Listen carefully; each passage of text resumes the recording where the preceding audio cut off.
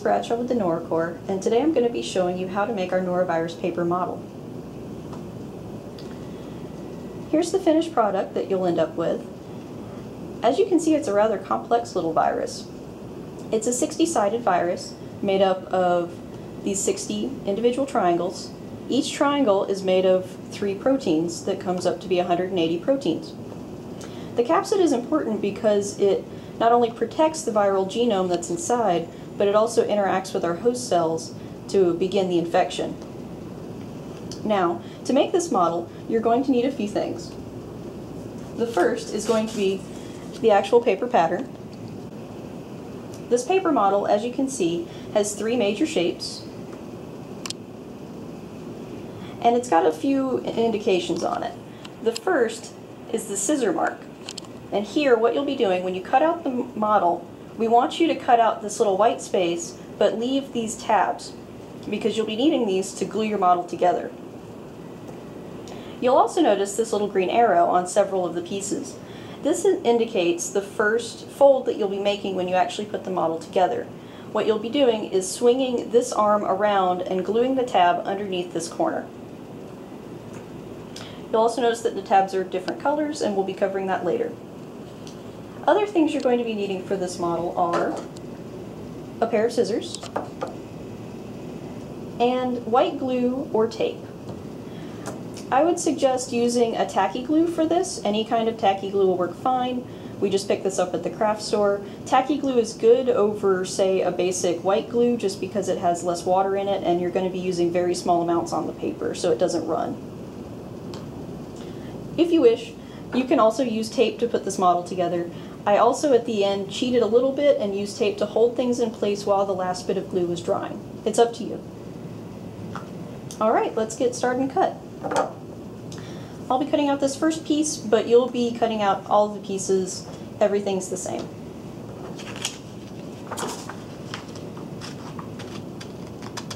And be sure to take your time while you're cutting this. The effort you spend up front is what's going to go into your final model.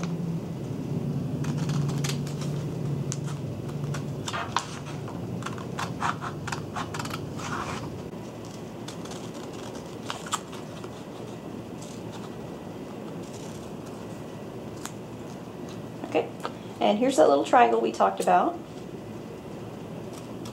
Cut in.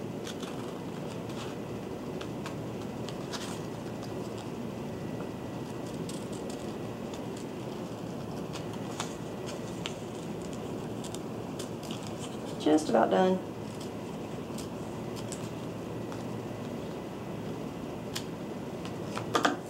Alright, so now you've seen how to do this first piece. You'll go through and cut out the other two pieces just like it. Alright, through the magic of cinematography, we now have our three pieces cut out. The next part is going to be folding, and I'm going to demonstrate on the smallest piece, but again, you're going to fold everything the same way for the other two pieces. The way I like to do the folding is to fold everything first. It just makes it a lot easier when you're going to put the model together. The way I do the folding is I start with the tabs and then I fold these smaller lines that are going to be on the surface of the virus. I also like to flip the model over and fold everything up away from me so that I can see the lines as I'm folding. Alright, now it's time to fold. And as you're doing the tabs, try only to get the white space on the tabs and not any of the printed line.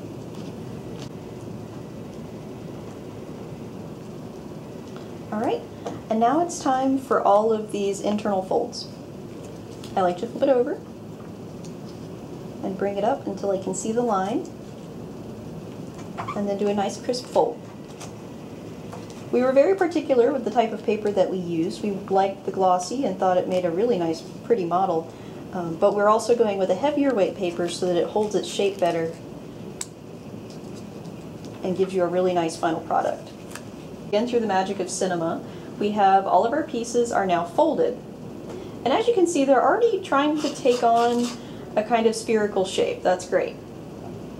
I'll be going on and showing you the gluing of the smallest piece and again, you're going to do what I do on the smallest piece to the two larger pieces. Remember that part about the glue, green arrows and them coming around? That's what you're going to do now.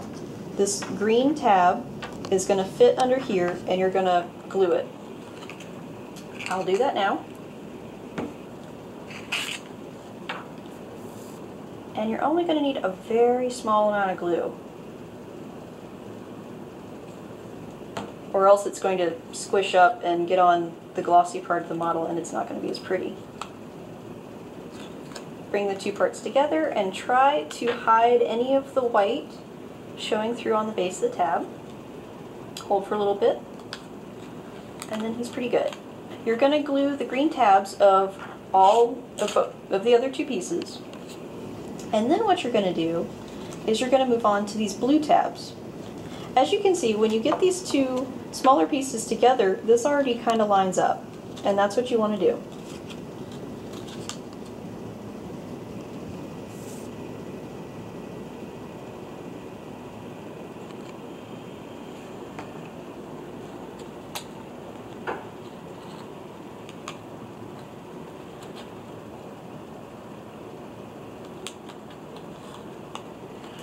All right, and now we're going to give this glue a little bit of time to dry.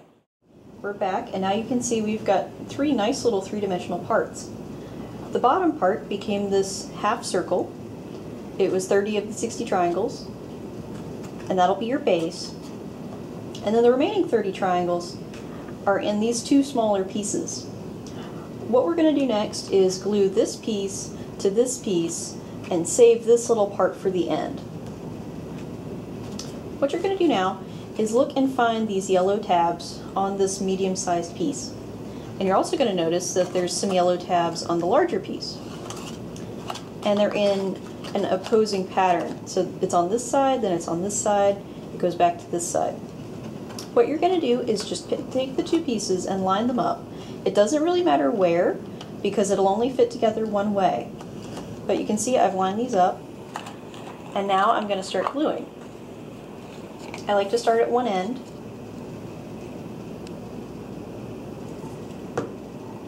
And attach it just to kind of anchor it in place. And this is going to be a very important time to make sure you get a good seal and that it all lines up because getting it wrong now means that it's going to affect the rest of the assembly of the virus. And you've put a lot of time into this so far. So we're going to hold it in place a little bit if you need to, this is a good time to add some tape just to make sure that it doesn't shift. And now go to the next piece.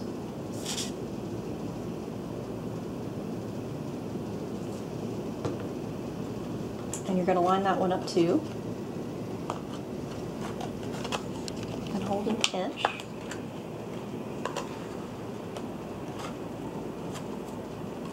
And you're going to keep doing this around. Now that you've gotten those two pieces together, there's just the third one left.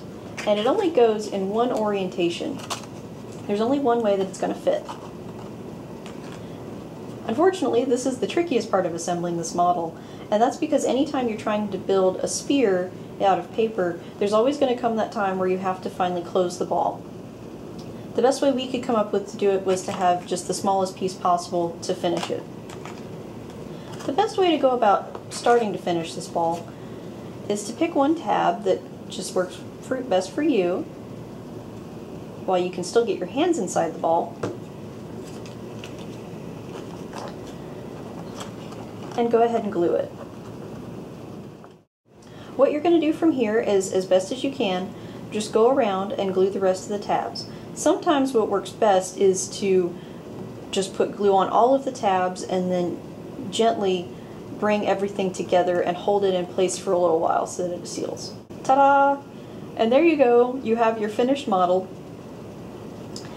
The interesting thing is in nature, those 60 sides come together spontaneously. It doesn't actually require any energy. The virus just naturally assembles itself. Here, you provided that energy. And as you can see, it maybe isn't the simplest process. Now, what can you do with this model? You can give it to your friends and family, say, haha, I gave you norovirus, hang it up on your wall, show it to friends, have a good old time with it. I hope you've enjoyed this tutorial, and if you have any questions, feel free to contact us on our website.